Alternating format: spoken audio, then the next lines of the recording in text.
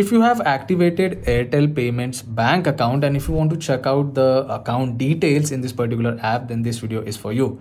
So if you're new to the channel don't forget to subscribe. Let's start the video. Now in order to check your airtel payments bank account details you have to first open airtel thanks application. And once you open the application this is the kind of basic interface you will be able to see in your mobile screen.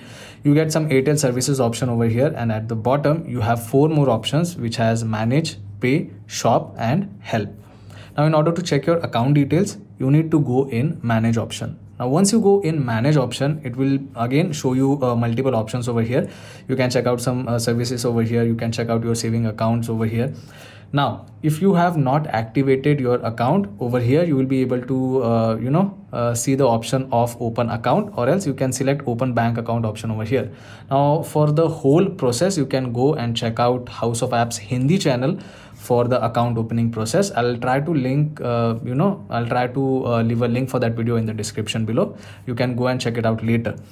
Now once you are on this particular page you have to select view details option if you have activated the account and once you select uh, you know view details option you are on the airtel payments bank page. Now over here you can check out your current balance. I have added 50 rupees for the initial process. Now this is a zero balance account so it is not necessary but it is uh, you know you can add uh, rupees 1 to activate the account completely. Later on you can remove that.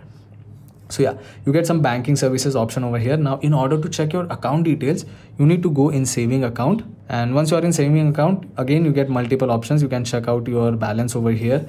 And you can check out some transaction related options which is send money add money transaction history and automatic payments. But you won't be able to check out the account details over here. Now if you want your account number and ifsc code for that on this same particular page you have to go down.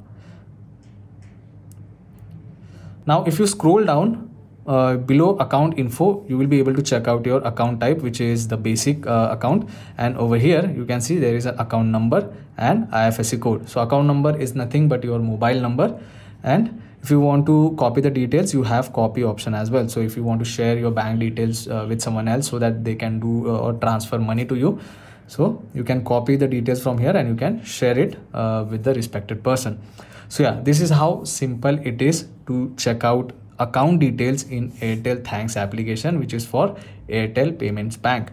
I hope uh, this video was helpful. If it was then don't forget to subscribe to my channel. I will see you all in the next one. Thank you.